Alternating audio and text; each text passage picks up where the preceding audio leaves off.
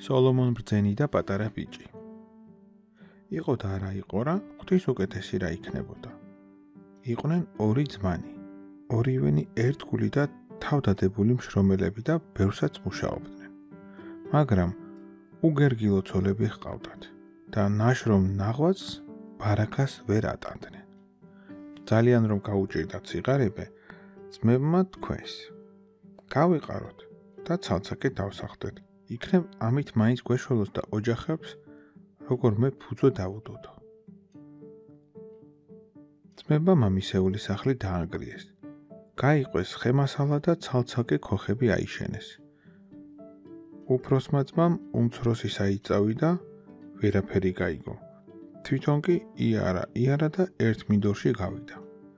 მინდორში ხალხი გამოსულიყო სახნავად. გუთანს 12 უღელი ხარკამეთში ება, მაგრამ საკვირველი ის იყო, რომ 6 უღელი ერთ მხარეს ება, 6 მეორე მხარეს. მეხრეები დასჭრიოდნენ და სახრეებს გამეტებით უთყაფუნებდნენ, მაგრამ გუთანი ადგილიდან არ იძროდა. ან რას დაიძრებოდა, როცა 6 უღელი ხარკამეთში ერთ მხარეს ეწეოდა, 6 მეორე მხარეს. უფროსმა ძმამ კარგახანს გაკვირვებით უყურა მეხრეების წვალებას. ბოლოს ვეღარ მოითმინა. მივიდა და გუთნის დედას უთხრა: "ძმაო, რატომ აწვალებ ამ საქონლეს? ან შენ თავს? აუშვი ერთი მხრიდან ხარკამეჩები. ჩაუბი მეორე მხარეს და გაიწევენ." "წადი, წადი, გზას ეციე," უპასუხა გუთნის დედამ. "ჩვენმა პატრონმა ასე გვიბძანა და ჩვენც ასე უნდა ვაკეთოთ." "ვინ არის თქვენი პატრონი?" კითხა კაცმა. ვინა და სოლომონ ბრძენი უთხრა კუთნის დედამ. ღმერთმა გაგაძლებინოთ მაგეთი პატრონის ხელში. თქვა უფროსმა ძმამ და წავიდა. ცოტა რომ გაიარა, ახლა ერთ 4 თვლიან წისქვილს მიადგა. შევიდა შიგ და რას ხედავს? ხვიმრებიდან სულ დარჩეული ხორბალი ჩამოდის. წისქვილებიც 4-ვე დოლაბი გამართულად ფქვავს, მაგრამ საფქვილე ალა არცეც არ უდგას. ფქვილი საღვარეში ჩადის და წყალს მიაქვს. გაუკვირდა კაც და მეტისქვილეს კითხა. კაცო, რაზე ხუპა ამბროლივით ხორბალს? რატომ ალებს არ დაუდგა? ფქვილი წყალში რომ არ ჩავიდეს? ჩვენმა ბატონმა ასე მიბრძანა და მეც ასე უნდა ვქვა. მიუგო მეტისქვილე. ვინ არის შენი ბატონი? კითხა კაცმა. ვინა და სოლომონ ბრძენი. კაც უფრო გაუკვირდა.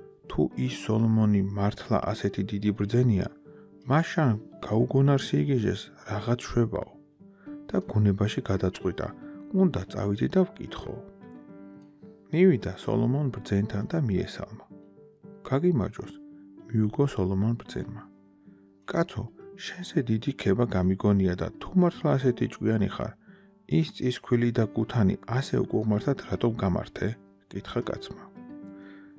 ბევრი გინახავს და ცოტა გაგიგია, უთხრა სოლომონ ბძენმა. ახლა თუ ამიხსნი, რისთვის გავმართე ის გუთანი და წისქვილი ასე? თუ არა და უიცობისთვის თავს მოგჭრი. დაღონდა კაცი. არ იცოდა როგორ აეხსნა და სოლომონ ბძენს მოფიქრებისთვის ერთი კვირის ვადა მოსთხოვა. ერთ კვირაში თუ აგიხსნით, აგიხსნით თუ არა და იყოს ნება თქვენი. სოლომონ ბძენმა მისცა ერთი კვირის ვადა. წამოვიდა კაცი. მიდის გზად დაღონებული და არ იცის რა ქნას, რა მოიფიქროს და სიკვდილს როგორ გადაურჩეს.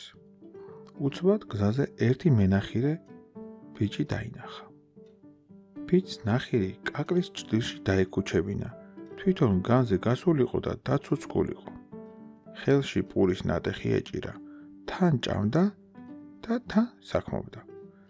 კაც გაუკვირდა ბიჭის უსაქციელობა და შეეკითხა: როგორ შეიძლება რომ თან საქმობდა თან პურსაც ჭამ? განაასი არ ჯობია?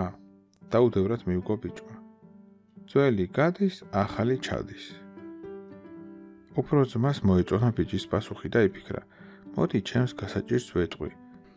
იქნება სასარგებლო რამ მირჩიოსო.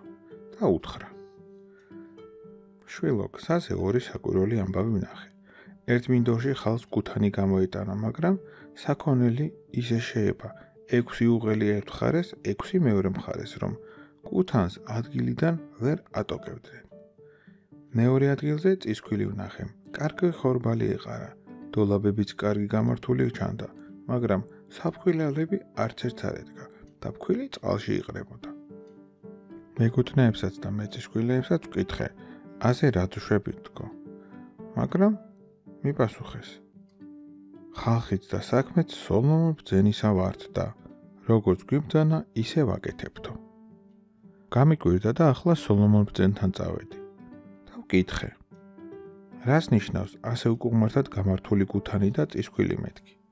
სოლომონ ბძენმა მითხრა: ეს გამოცანა შენ უნდა ამიხსნა თუ არა და თავს მოგჭრიო. აი უკვე ერთი კვირა მიიწურა, რაც გზაზე მოვდივარ და ვფიქრობ, მაგრამ ამ უცნაური ამბისა ჯერაც ვერაფერი გამიგიაო. მე აგიხსნი თუ არ გამცემ, უთხრა ბიჭმა. კაცი შეჰპირდა, კრინცაც არსად დავძრავო.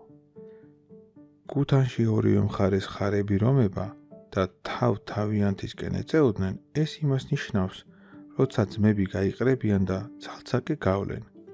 იმათი საქმეც აგრეთვე წინ ვერ წავა.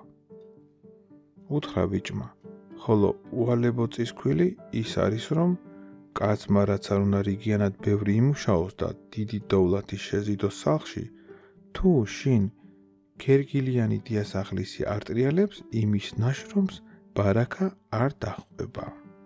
კაც ეს პასუხი სიმართლე დენიშნა და სოლომონ ბძენისკენ გახარებული წამოვიდა. მივიდა და რაც ბიჭმა უთხრა, ყველაფერი დაწურლებით მოახსენა. ეგ ყველაფერი სწორია, მაგრამ ახლა უნდა მითხრა, შენ ეგ პასუხი ვინ გასწავლა? უთხრა სოლომონ ბძენმა. სოლომონი იმხრად სავაზირო კაცს ეძებდა და იფიქრა, ვინც ეს გამოიცნო, ნამდვილად ჭკვიანი იქნება და ვეზირად იმას ავიყვარო. თქმით ვერ გეტყვი, რადგან სიტყვა მივეცი, რომ არსად გავთქვამდი. და სიტყვის გატეხა კიდევ სირცხვილია. მითხარი და იმ კაც ბეცავ წევ, უთხრა სოლომონმა. მაშინ წამობრძანდი და ბარემ თვალით გაჩვენებ, უთხრა კაცმა.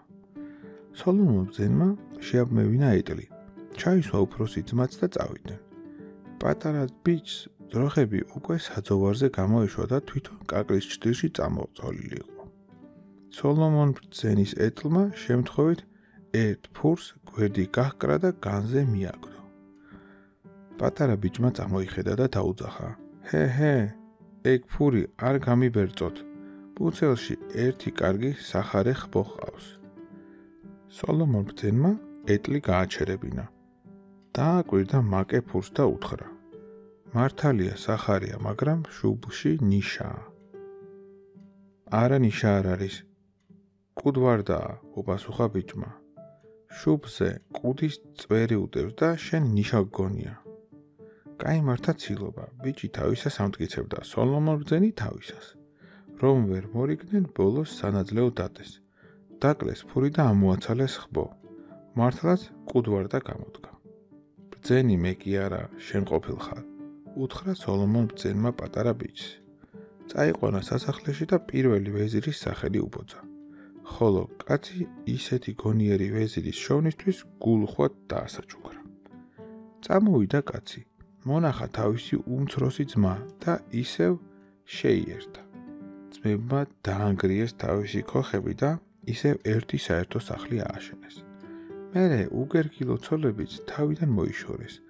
შრომის მოყარე მეოჯახი ქალები მოიყვანეს და რამდენიმე წელიწადში ოჯახი ქონებით პირამდე გაავსეს. ჭირი იქა, ხინი აქა. კატო იქა, ქვილი აქა.